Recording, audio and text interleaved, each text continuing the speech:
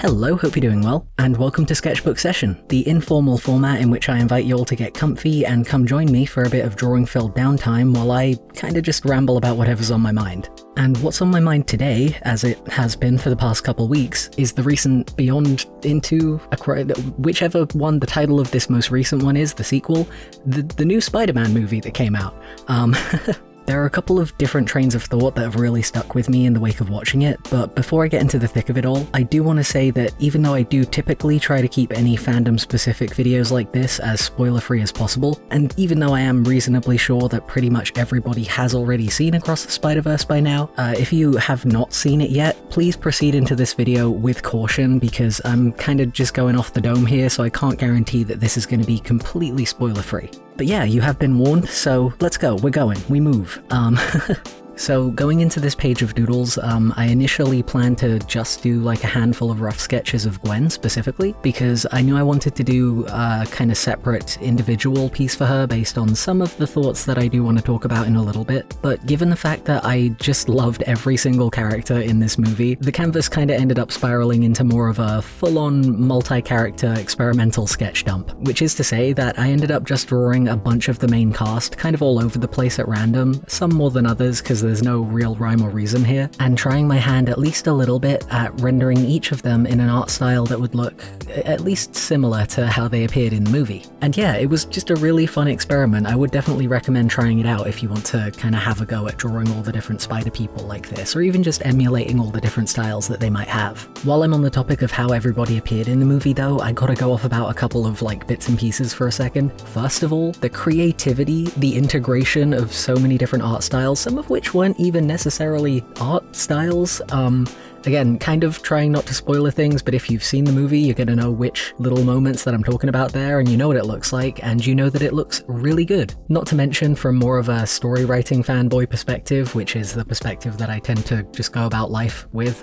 Um, With the pure amount of stuff that was packed in, it felt like getting to see multiple movies all in one go, and I mean that in a very good way. I was just absolutely beside myself getting to pick up on all the tiny Easter eggs and plot threads and feel the pieces all clicking together as the movie went on because they were all interwoven in just such a satisfying and like rewarding kind of way. And um, actually, while I'm on the topic of things like interweaving and, you know, webs and whatnot, I do also want to take another second to just appreciate these characters because they were just all of them so engaging and fun and really easy to get familiar with, even in a movie with such a non-stop pace and a huge cast. Kicking it off, of course, with Spider-Punk, Hobie Obi Brown. He is so cool, and his art style was also way easier to mimic than I thought it might be. I kinda just went all over the place with the lasso and it was really fun to see come together. Then you got Spider-Man Mumbai, or Mumbattan even, Certified Sunshine Boy. He also moves around in such a cool way, and another easy day for Spider-Man was one of my favorite lines in the entire movie. He is so funny, his personality is delightful, and I just love him. Then of course we got Miles, who's the star of the show, we already knew about him, but it was so cool to see how much cooler he'd gotten since the first movie, while also getting to see how much more cringe he'd gotten as well in certain situations. And I did genuinely love that like layer of awkwardness for him because it adds so much humanity to the superhuman storyline and I was gonna say universe, but the many superhuman universes that he's navigating. Then you got Peter, proud dad, prouder mentor Parker, and Miguel, fake dad, bad boss O'Hara, who we can all agree two very different ends of the let's call it the father figure spectrum, right? Love them. Uh, love the juxtaposition, love the very different kinds of like both desperation and leadership that they both got to show in their own different ways. I just really love a juxtaposition of ideals like that. And uh, again, I'm trying to stay at least a bit spoiler free here in terms of that whole parallels kind of topic, but if you know, you know, this movie really delivered on that front in so many ways. Um, And that's not even to mention Jessica Drew and Scarlet Spider and all of the other brilliantly crafted characters that appeared. Not least of all, The Spot, who was rocking that Mob Psycho kind of visual aesthetic by the second half, which genuinely had my jaw on the floor. That was so cool to see in like an American animated movie like this. I also remember being blown away really early on, actually, by the design of the Vulture, which I didn't know that that was going to be a character in the movie, but it was so cool seeing how he had like that parchment look with the Da Vinci style equations and formulas popping up all around him. Like, I was just sitting in the cinema thinking, if we get something that looks this cool this early on in the movie, then oh my god, this is going to slap. And then for the next three hours or so, the movie did indeed proceed to slap. Um, And I mean, hell, those are just one or two examples out of so many because art style wise, I was just dumbfounded every five minutes with this movie. Like, between the individual styles of the Spider People themselves and then the worlds that they came from, there was just a constant stream of truly innovative, like, creative energy jumping out of the screen. And, you know, as a creative myself, it was really refreshing. And, and given the, you know, pretty disheartening AI stuff and everything else that's been on the rise lately, really reassuring to see. It was just like really moving, I think, to get to see such a like I don't even know how to word it, but it, it, just felt like watching a collection of pure human creativity that was just so full of like life and life experience, and you could really see that all of yeah, just all of those kind of really human experiences had gone into the craftsmanship. I feel like I'm waxing poetic about it now, but it, it was just really special to get to see that. One other element of the movie that really, really resonated with me though, um, and as the thumbnail of this video has probably already given away, is kind of the crux of what I wanted to sit down and ruminate on here for a bit, were the parts of the film that happened in Gwen's universe in particular. Because there were a couple of understated things in those scenes that really hit me in the heart to an unexpected degree. I have no doubt that a lot of y'all who've stopped by to watch this video will have, um, either in the lead up or the follow up to seeing this movie yourselves, um, it's pretty likely that you will have seen other folks online talking about the idea of Gwen being trans. It was kind of a hot topic for a while after the Across the Spider-Verse movie came out, and the majority of the reasoning that folks point to, which like I know that has been pointed out on Twitter and TikTok and all of that jazz, is that like she has a trans flag on the wall of her room, and at one point you can see that her dad has a trans pride patch on his jacket, and even during that one particularly important and emotive kind of monologue that she has, both Gwen and the world around her, which the creators of the Spider-Verse have said is like specifically inspired by mood rings and is responsive relevant to whatever's going on. All of the colours of everything start morphing into the colours of the trans flag. And this is all while she's basically I was going to say coming out, but you know, coming clean to her dad about the whole Spider Woman situation and her identity as Spider Woman. And you know, not only did all of that appear in an animated movie where, by definition, every piece of set dressing has to be drawn by hand and then carefully placed in the scene and undergo several stages of creative approval along the way, but especially in a movie like Spider Verse, where you could scrub through every frame and, you know, it's plain to see the careful thought and intent that gets put into every single element that's in every single frame. In a movie like that, it feels practically impossible to chalk an entire trifecta of trans flags and imagery showing up only and specifically in one singular character's narrative up to coincidence. Coupled with the fact that her personal story arc in the movie also does just kind of read like a metaphor for the trans experience in general, um, I would certainly say it feels pretty reasonable to look at all of that and say, you know, I feel like Gwen might be trans. I feel like that might be the implication here.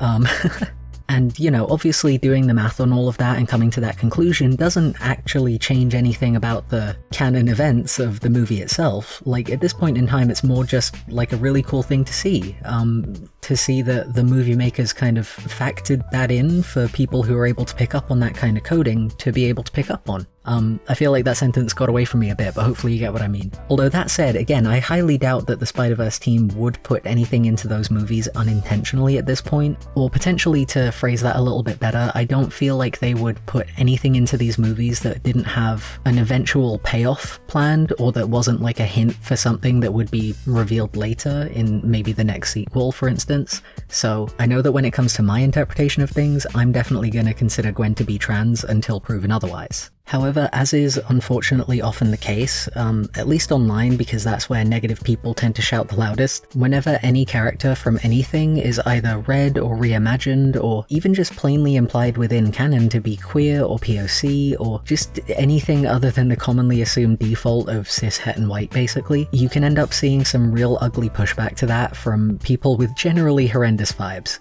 Um, Oftentimes, in fact, um, and, and this is actually where my whole train of thought about, like, well, for me, Gwen is going to be trans until proven otherwise came from. Oftentimes, unless a character verbally outs themselves to everyone they meet by specifically saying, hello, I am a trans person, verbatim, there will always be people who will insist that because they never said that they were queer out loud, that particular character could never be queer, no matter how much thematic or narrative implication there may be to the contrary. So when it comes to the Spider-Verse movies, needless to say I have seen a fair amount of those exact kind of disagreements around even just the suggestion that Gwen could be trans. And I know we're well past Pride Month by now, but that whole kind of topic has just really been stuck on my mind lately. Not only because when people refuse to acknowledge even the potential existence of a fictional trans person like that, it obviously comes from a place of real world transphobia on their part, and that obviously sucks. But also because it's just really dumb.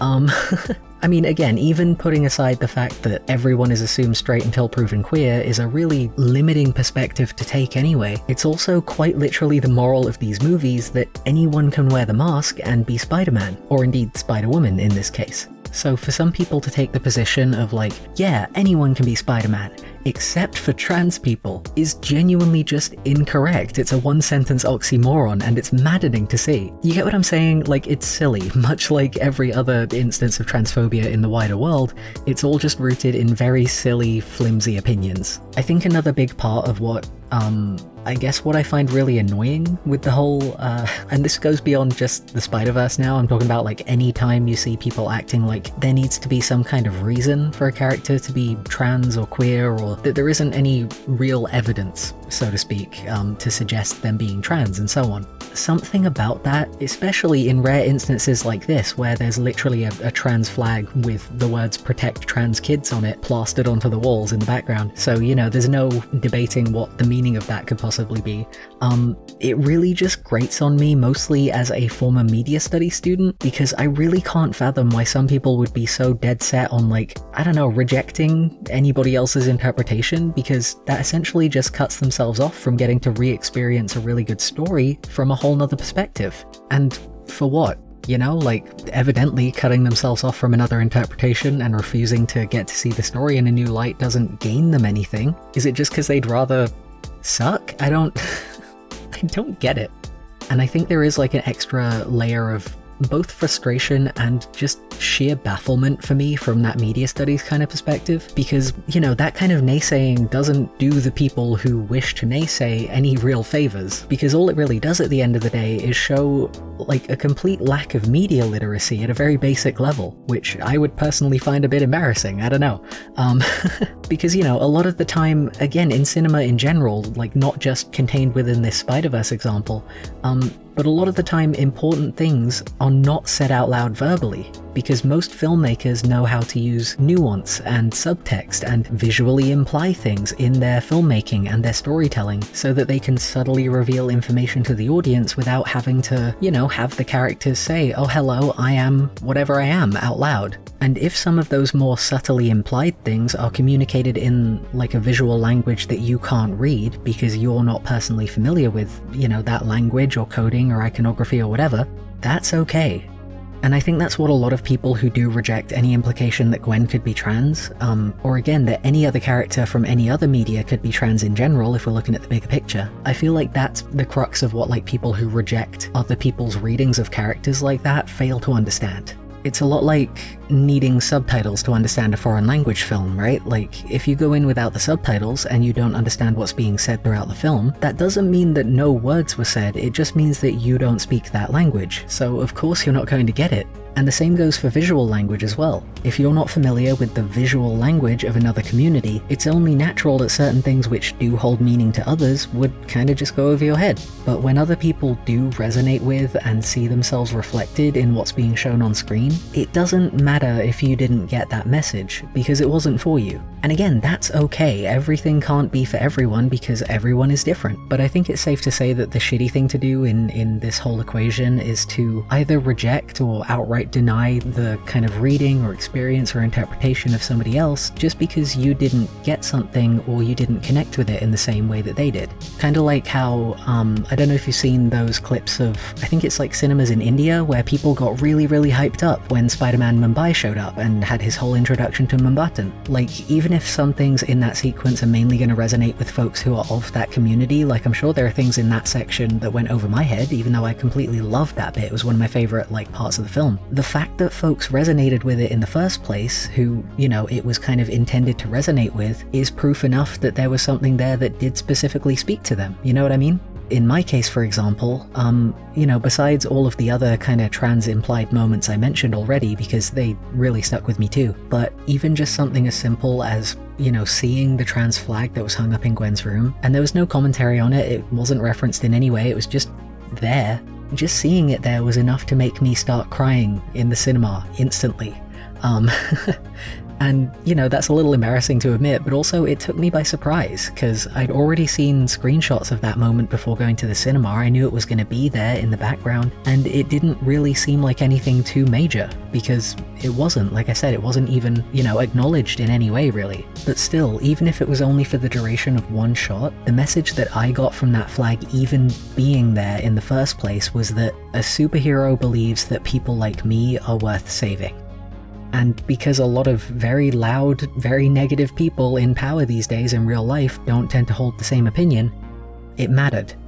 So, you know, while it is true that Gwen never specifically said, My name's Gwen Stacy and I'm the one and only transgender Spider Woman, sometimes actions and narrative theming and set design and costume design, color language, and many other such implications can speak far louder than words. Um, Anyway, uh, yeah, I don't know. I feel like I've gone on a whole kind of very roundabout ramble here and maybe touched on some much bigger societal kind of topics than I normally would, so apologies if it got heavy there at all for a second. I just, you know, had a lot of thoughts on the topic kind of swirling around that I really wanted to get out. But um, I think really the main takeaway from all of this is that, you know, people can debate whether Gwen is canonically trans or not until the cows come home if that's what they want to do. But one thing that's not up for debate is that she or any other character from any other thing absolutely could be, because there is no good reason why they shouldn't be. And also, secondary moral, secondary takeaway, if you will, is that transphobia is and always has been so, so stupid. Um, But for now, thank you very much for joining me for this one. I hope you've had a good time, and until next time, I hope you'll keep on staying as safe, happy, and healthy as you possibly can.